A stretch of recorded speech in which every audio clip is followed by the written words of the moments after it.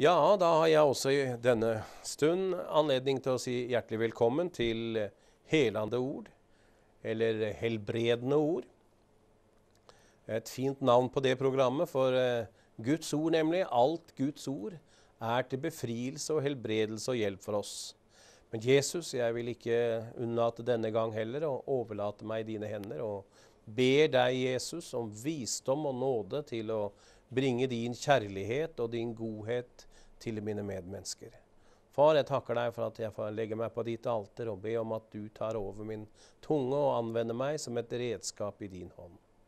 Far, jeg priser deg for den sannhet og kjærlighet du viser, og jeg ber Jesus for mine søsken som ser på her, og mennesker rundt om i verden som får se det, at de skal få oppleve din hjelp. I Jesu navn. Amen. Ja, Jeg vil denne stund ta opp det her med befrielse. Det har eh, blitt et, eh, egentlig et eh, ord som man hører til og med i det profane sammenheng, om å bli befridd ifra en ting. og vi vet jo at hvis et menneske kommer i fengsel også, så søker det hele tiden om å bli fri det og satt løs ifra det. Men takk, gode Gud, jeg skal snakke om en frelser som kan befri deg. Han var nådig mot meg og lot meg få fri i mitt indre. Så jeg sitter her som et levende bevis på at Herren kan befri. Vi kan selvfølgelig fysisk sitte i fangenskap og være slaver av det på kanskje en synd vi har gjort, og komme i fengelse. Men det største fengselet tror jeg er egentlig det vi kan ha innom oss. Og det er det mange, mange mennesker som bærer i dag. Ja, faktisk talt, jeg har sagt det før, og jeg nevner det igjen også. Det største fengselet som mennesker sitter fast i i dag, det er det her med selvforakt. Å ikke tro på seg selv, og ikke ha noe glede over å være den en er. For uh, hele tiden så slår disse tankene imot en at uh, du duger ikke. Det er så mye vondt som kan være i bakgrunnen i våre liv. Av fornedrelse. Av uh, vonde minner. Kan hende du har ikke så hatt en så lett oppvekst. Det hadde ikke jeg. Jeg opplevde mye negative ting, men jeg skal ikke ta det fram nå. Det har jeg kanskje tatt fram i tidligere program, men jeg har selv fått oppleve at jeg har fått komme fri pga. Jesu kjærlighet. Jeg fikk råte ut, og jeg fikk legge bak meg både mine egne feil og all fornedrelse jeg hadde opplevd av andre mennesker. Det er jo sånn i vår tid, dessverre, at eh, mange mennesker egentlig blir født til verden de kommer til verden med forkastelse inn i livet sitt. Hva sier du, sier du? Jo, det er sant. Tenk deg alle barn. Dessverre, i dag så er det jo mange som blir drept før de kommer ut av mors liv på normalt sett. Men en del barn også kommer til verden, men de har vært uønsket. Kanskje foreldrene hadde egentlig ønska det skulle blitt en abort. og det var ikke sånn de hadde planert. Og jeg vet det er mange under den tiden jeg har vært i sjelesorg til sammen med, som har fått vonde ord i sin oppvekst slengt imot seg. Jeg har ikke ønska deg heller. Det var ikke meninga du skulle vært født. Og det var ikke meninga at du skulle vært en gutt, du skulle vært ei jente. Det er ikke meninga du skulle vært ei jente, du skulle vært en gutt det der, det er en forbannelse. Det er et slag imot et sjel, imot et menneske, som kan skape dype sår. Så er det også kanskje det da at uh, du har hatt det tøft under oppveksten din. Kanskje du har blitt mishandlet. Du har til og med voldtatt eller opplevd sånne ting. Vi lever i en ond tid. Jeg har vært med om disse tingene og opplevd en hel del ting selv. Og jeg har heldigvis fått hjelp og befrielse. Derfor så vil jeg alltid aller først si at det, på grunn av at Jesus har hjulpet meg og visket ut all smerten og tatt sitt suddgummi og pusset bort alle vonde, negative tanker og løftet smerten ut av mitt indre. Derfor, derfor vil jeg være en sjelesorger eller en sjelevårdere, en som kan hjelpe sin neste. Vi vet jo også at mange mennesker havner på skråplanet og kommer ut for overkjøring av alkohol eller droger. og Kanskje de kommer fra et skilsmissehjem. Det er snart så mye skilsmisse, så det er nesten ikke råd å komme anten ifra slike hjem, dessverre. Det er en fortvilelse. Det er et mørkere for et barn å oppleve enten far eller mor blir borte ifra seg. Det er så vondt, det er så vondt, og det er så mange, mange som må svelge dette og oppleve dette og miste tryggheten. Vi mennesker søker jo alltid etter trygghet. Vi mennesker ønsker jo alltid å få lov å oppleve Herrens nærvære med trygghet. Men ikke bare det, vi ønsker nærværet av andre mennesker også. Og Derfor kanskje har vi gått feilaktig ut. Vi har kanskje ikke hatt noen far eller mor og så har en mann søkt en kvinne og kanskje ønsket nesten henne som mamma inn i sitt liv. Eller omvendt. En kvinne opplevde at hun ville ha en pappa, og så har hun fått en mann. og Det har blitt, det har blitt feil. De har hatt feile farsbilder og feile morsbilder. Det er vondt når den ene parten ikke er til stede og at det ikke fungerer normalt, harmonisk, som egentlig en familie var ment skulle være. Det kan skape mange sår. Det kan gjøre at du kommer snett ut i livet når det gjelder både skolen, utdannelsen din, arbeidskameratene dine eller kameratene for øvrig. Du søker feile kontakter. Og så får vi denne glidningen, da, og du drar imot feil kjønn. og Alt dette her som bare skaper sorg. Skaper fortvilelse. Skaper en stendig frustrasjon og en schizofrenisk opplevelse. Du greier ikke å kontrollere ting. Jeg snakket, samtaler med mange mennesker som har, har, en slik stor angst at de ikke klarer å gå inn i et kjøpesenter. At de ikke klarer å gå ut, dø, ut av døren og være til sammen med andre mennesker en fryktens ånd, en forferdelig sykdom han møtt i og nådd i. så de har fått tvangstanker. De har forbier, så de tror at andre følger efter de. At de aldri kan få være i fred. Og dumme, negative tanker som pusher inn i sinnet deres hele tiden. Jeg vil si deg, min venn, har du vært drabba eller har du vært utsatt for disse vonde tingene, så er Jesus vår underbare frelser. En redningsmann ifra slike ting. Jeg sa det at jeg vil tale om dette programmet om befrielse.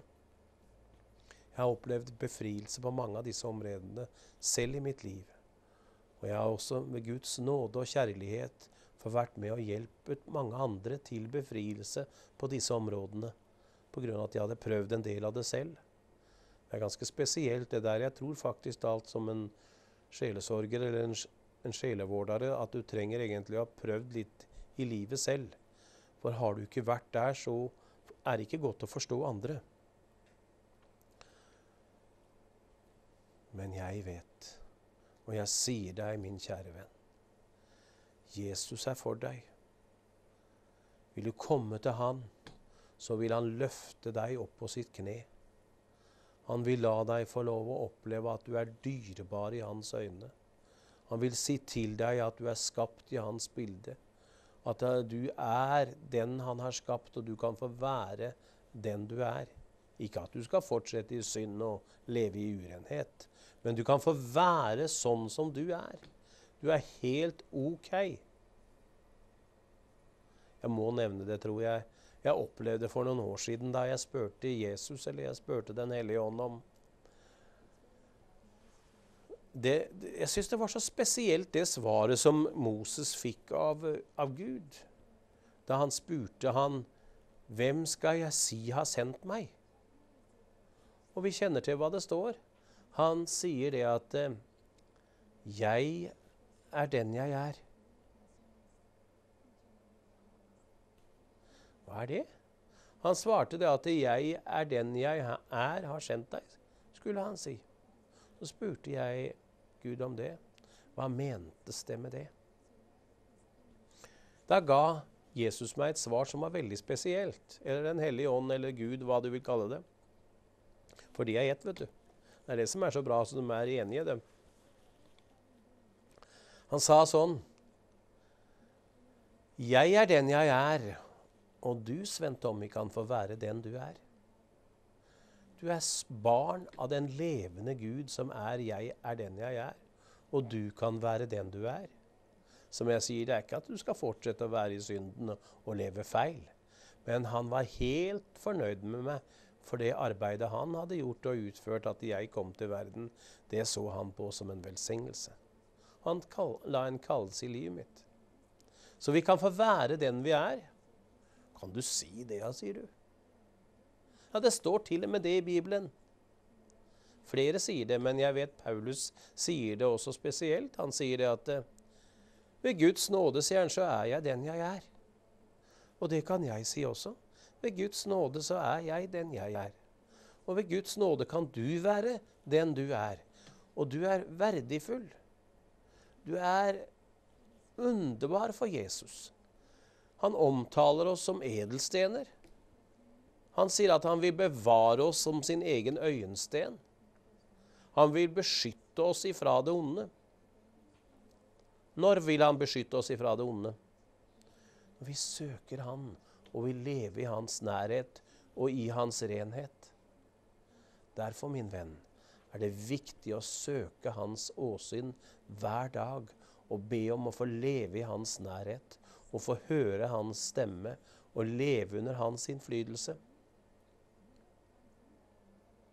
Ja, men det er ikke så lett, sier du. Nei, det er ikke det. Hva er det, da? Jo, det har med prioritering å gjøre. Det har med prioritering å gjøre. Det er en selvdisiplinering. Jeg for min del har sett at jeg var ikke der før. Men for min del så må jeg hver morgen, som jeg har sagt så mange ganger, overgi meg til Gud, be om å få være under Hans salvelse og Den hellige ånds ledelse med livet mitt, så jeg kan få være til velsignelse for min omgivelse. Det er det jeg må be ut selv, og be Gud i nåde hjelpe meg med. Men hva for noe annet må jeg gjøre? Jeg må søke Han i Hans ord. For det er Hans tale til oss. ikke sant? Han talte ordet, og det står der, og det er sant. Og Derfor så må jeg sette av tid og lese ordet. Og det er så fantastisk med Bibelen. Hvis du virkelig har kommet inn i dette at du leser Bibelen Du kan lese et kapittel, og du tror liksom du vet det, og så kan det gå noen måneder, og så kan du lese det samme kapittelet igjen. Plutselig så får du se det i en helt annen vinkling, og du merker nærværet av Guds kjærlighet i det. For han er i ordet. Han er jo selv ordet, står det. Det er fantastisk. Dette, min venn, det vil jeg du skal få oppleve. Og Jeg vil be også for deg under tidens løp her at Gud også skal løfte ut all smerte du bærer innom deg. Jeg sier det allerede nå med en gang. Om du ønsker å kontakte meg, så vil jeg gjerne be for deg eller samtale med deg. Så du kan komme ut av den situasjonen du kanskje er i, som er veldig jobbig for deg. Hvorfor sier jeg det? Jo, for Bibelen taler også om dette. Det er faktisk talt Jesus kjødelige bror for å kalle det det, eller hans halvbror. For de hadde samme mor, det var Maria.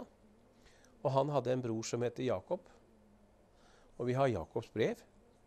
Og der står det det at eh, Blant annet. Det står mye positivt der. Det er mye fantastisk om å få visdom og få hjelp på alle måter. Om å leve i lys og i renhet, som vi har vært inne på også. Men det står det at eh, Bekjenn derfor syndene for hverandre, for at dere kan bli helbredet. veldig spesielt ja, at vi skal bekjenne syndene for å bli helbredet. Jeg tror først og fremst denne helbredelsen, når det da snakkes om helbredelse, det er snakk om å bli helbreda i sitt sjelsliv. Så man får det rent og fritt og godt innom seg, så man bare kan si Elskede Jesus, jeg hører deg til. Jeg kjenner fred i mitt hjerte, og du kan legge deg om kvelden. og Du kan prise Herren for dagen og si Jesus, om du kommer i natt eller i, mens jeg sover, så vet jeg at jeg hører deg til. Og det er fantastisk. Det er gledefullt. Det er det beste vet du, å ha sin sjel i orden. For Gud, Jesus sier jo det selv, at om en skader sin sjel og har skade i sin sjel, så hva gagner det et menneske om en vinner hele verden? Det er det å ha det underbare sjelslivet og denne nære relasjonen med Gud som man bare vet at man vet, som er viktig. Men det er også noen ting med dette med helbredelse å gjøre også, skjønner du. For det er faktisk talt sånn at det lever vi med feilaktigheter, med kanskje små synder, som vi vil kalle det. Det er ikke noen små og store synder. Enten så er det lyset, eller så er det mørket. Det er ikke noe mellom, det er ikke noe diffus område, noe gråsone noe sted. Enten så er det rent, eller så er det tilskitna. Renhet er å være i lyset til sammen med Jesus i alle livets detaljer som jeg har vært innom. Men tillater vi oss selv å gjøre feilaktigheter som vi vet med vår samvittighet, for Gud har jo lagt ned den i vårt hjerte, så ødelegger vi denne kontakten. Vi ødelegger denne nærheten. Vi ødelegger dette som gjør at vi kan glede oss over når kvelden kommer og vi sier 'God natt, kjære Jesus', og sier 'takk for i dag'. Vi kan si det, vet du. Kanskje lest om Benny Hinn, som har den boken som heter 'God morgen, Hellige hilste på Den hellige ånd på morgenen, og så sa han det. Så er det fantastisk. Men som jeg sa, dette, dette med at uh, Bekjenn derfor syndene for hverandre, for at dere kan bli helbredet. Det er nemlig sånn hvis vi holder fast med noen ting som vi vet ikke tåler lyset, og som er behag i Guds hjerte, da har vi gitt en liten ståplass i hjørnet av livet vårt som Satan kan få stå. Og hvis han står der, veit du hva han gjør? Han pisker deg. Han slår deg. Han slår deg kanskje med en sykdom. Han slår deg med, med, med feilaktige, urene tanker. Han slår deg med uærlighet. Han slår deg med ting som ødelegger for deg. Om det er sykdom eller andre slike plager. Du vet hva jeg snakker om når jeg sier dette her.